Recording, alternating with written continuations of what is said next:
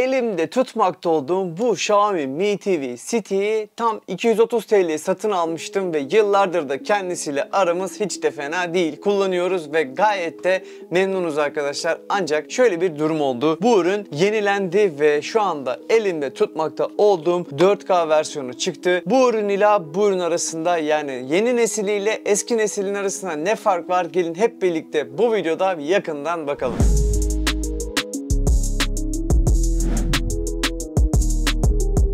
Bu arada videoyu başlarken hemen söyleyeyim arkadaşlar. Kanala destekleriniz için sizlere çok çok teşekkür ediyorum. Her şey gayet iyi gidiyor ancak destekleriniz olmadan bir tık daha ileriye götürmem çok da mümkün değil. O yüzden kanalıma abone olursanız, beni diğer sosyal medya platformlarından da desteklerseniz ve tabii ki bu videoyu beğenirseniz bir de yorum bırakırsanız şahane olur. Videoyu çektiğim bugünlerde arkadaşlar ki hemen tarihi kontrol edeyim. 29 Haziran'da bu videoyu çekmişim ben ve şöyle söyleyeyim fiyatları kontrol ettim. Mi TV City'nin standart yani eski nesil diye bahsedeceğim bu videodaki versiyonu 550-600 TL bandında bulunabiliyor. Yeni nesli ise 1100 ila 1200 TL bandında değişen bir fiyat etiketiyle bugünlerde satılıyor. Yani ikisinin arasında neredeyse bir katlık bir fiyat farkı var. Bu fiyat farkını vermeye değer mi? Değmezse kimler vermesin veya neden vermesin gibi sorularınızı da yine cevaplıyor olacağım. Birinci nesil Xiaomi Mi TV Stick'te en çok bahsedilen problem şuydu. Cihaz çok ısınıyor ve bu ısınmanın sorununda da artık kullanılamaz hale geliyor.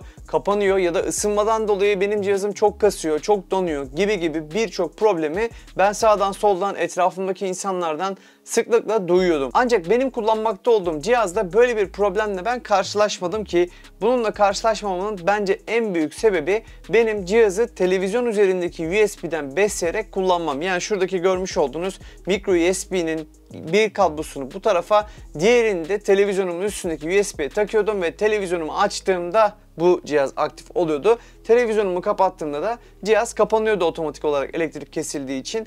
Dolayısıyla ben uzun kullanımda bu cihazda bu tarz bir sıkıntıyla karşılaşmadım. Ancak bazı karşılaştığım problemler var. Şimdi onlara doğrudan değinelim. Birinci nesilde arkadaşlar bildiğiniz üzere ya da bilmiyorsanız da sizlerle paylaşayım. Android 9 işletim sistemi var. Evet bazı güncellemeler alıyor ve aldı. Hatta bundan bir ay kadar önce bir güncelleme daha almıştı bu ürün.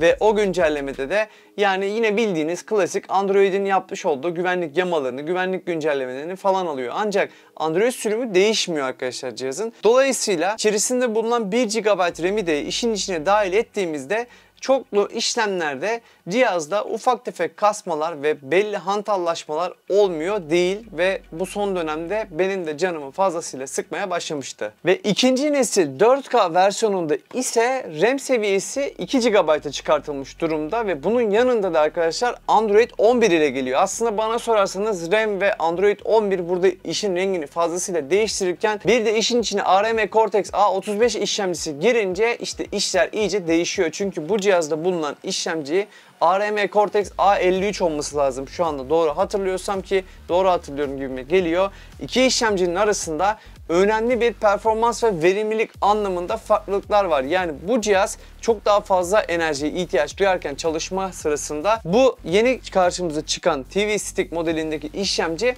biraz daha düşük enerjiyle daha verimli ve bir miktar daha performanslı çalışabiliyor ki 2 GB'da bir RAM'e yükseltilmiş durumda yeni nesil TV Stick'imiz. Tabi bunlar böyle hani anlatıyorum sizlere teknik anlamda bir şeylerden bahsediyorum ama aslına bakarsanız gün sonunda bu cihazın içerisinde de bulunan yani yeni nesil cihazın içerisinde bulunan işlemci de yaklaşık 7 yıllık arkadaşlar. 7 yıllık bir işlemci olmasına rağmen ki 7 yıl önce biz bu işlemciyi akıllı telefonlarda falan görüyorduk. Şu anda bir TV stick üzerinde bizlere hala iş görür bir vaziyette çalışabiliyor. Güncel bir cihazın içinde de bizlere güzel bir performans sunabiliyor bu işlemci modeli. Şimdi gelelim dış görünüşteki farklılıklara. Çünkü Xiaomi Mi TV Stick ile 4K versiyonun arasında çok ufak tefek boyut farklılıkları var. Şu anda da ekranda göreceğiniz üzere kumandaların bir tanesi daha büyük ve tabii ki cihazların da bir tanesi bir tık daha büyük durumda sevgili dostlar. İki cihazın arasındaki boyut farkını da şöyle söyleyeyim. Küçük olan Full HD yani birinci nesil, büyük olan ise 4K yeni nesil versiyonu. Kumandaların arasında da yine baktığımız zaman çok büyük bir farklılık yok ve Açıkçası sadece ikisinin üzerinde bir tanesi Mi yazıyor eski nesilde, yeni nesilde ise Xiaomi şeklinde bir yazı bulunuyor. Yani böyle ultra büyük değişiklikler tasarım anlamında yapılmamış cihazlarda boyutları bir tık büyütülmüş. Şimdi gelelim aslında bu iki ürün hakkındaki bence en önemli testlere ve en önemli sizlere yorumlamalarımı da sunacağım bölüme. İki cihazın arasındaki en büyük farklılık böyle normal bir tüketici olarak ya da bir satıcı olarak baktığınızda ikisinin arasında biri 4K, biri Full HD gibi bir farklılık var deyip geçebilirsiniz. Ancak iş aslında hiç de öyle değilmiş. Ben ikisine önemli performans testleri yaptım. Farklı farklı testler de yapmayı denedim. Ancak biliyorsunuz bu ürünlere APK kurmak oldukça zor.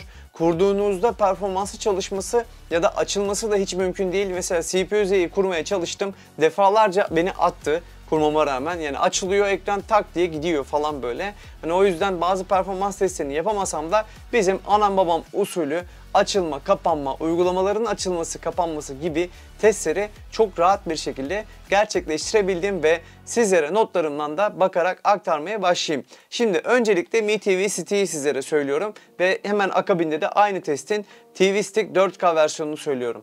Birinci nesilde açılış 36 saniye sürerken ikinci nesilde açılış 33 saniye sürdü arkadaşlar.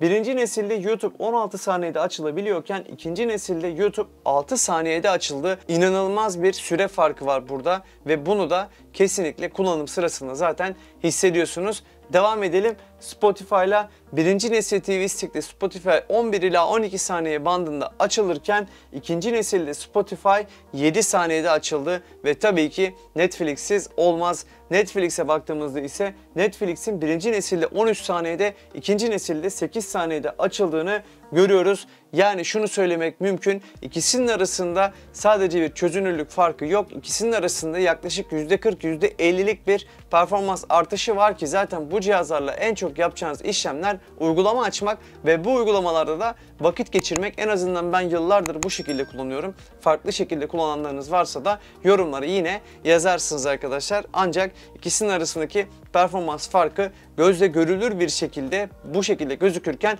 kullanım sırasında ise kesinlikle 4K versiyonun daha akıcı ve çok daha iyi bir şekilde bizlere performans sunduğunu sizlerle paylaşabilirim. Ve lafı daha fazla uzatmadan şuna da değinelim. Kim birinci nesil alsın, kim ikinci nesil alsın? Sonuçta ikisinin arasında 500-600 TL gibi bir fark var. Hemen sizlere onu da özetleyeyim. Birinci nesil hala çalışıyor arkadaşlar. Ben mesela hala şu anda kullanıyorum. Herhangi bir problem de çıkarmıyor. Çıkaracağını da açıkçası zannetmiyorum. Yani kullansaydım kullanırdım ama 4K'yı edinince 4K'yı kullanmaya devam edeyim dedim. Onu taktım çünkü biraz daha hızlı. O yüzden daha hızlı olduğu için de 4K'yı kullanmaya devam ediyorum. Fakat kim hangisini alsın? Şimdi eğer bu cihazlardan bir tanesini alacağınız televizyonunuz Full HD ise bence doğrudan bunu eleyin zaten. Bunu hiç almayın. Gerek yok. Bu sizin işinizi fazlasıyla görür. Mi TV Stick fiyatı da hala 500-600 TL bandında söylediğim gibi. Ancak ben televizyonum Full HD ama Belki 4K monitöre de takabilirim. İşte efendime söyleyeyim ben televizyonumu da güncelleyeceğim. Ya da ikinci el eski bir 4K televizyon alacağım ama Smart TV'si yok ya da içinde bulunan Smart TV iyi çalışmıyor diyorsanız da o zaman 4K versiyonunu alabilirsiniz. Zaten yeni nesil cihazlarda bildiğiniz üzere hepsinin kendi akıllı TV uygulamaları var, Smart TV uygulamaları var. Dolayısıyla bu ürünlere çok da ihtiyacınız olmuyor. Ben böyle daha çok bu ürünleri kullanmaya yönelik hani sizlere örnekler verdim ama gerekli mesajları sizlere verebilmişimdir diye düşünüyorum. Sizler ne düşünüyorsunuz arkadaşlar? Bu iki ürün hakkında yorumlara yazmayı ve tabii ki videoyu da beğenmeyi ihmal etmeyin. Bu ve bunun gibi farklı videoların gelmesini istiyorsanız da beklentilerinizi yorumlara bırakmayı lütfen ihmal etmeyin. Biliyorsunuz yorumlarınızın hepsini tek tek cevaplıyorum, cevaplamaya çalışıyorum ve sizlerle de her zaman etkileşim halindeyim. Benim diğer sosyal medya hesaplarımı da yine açıklama bölümünde bulup takip ederseniz çok sevinirim. Bir sonraki videoda görüşene kadar kendinize çok iyi bakın efendim. Hoşçakalın. Bye.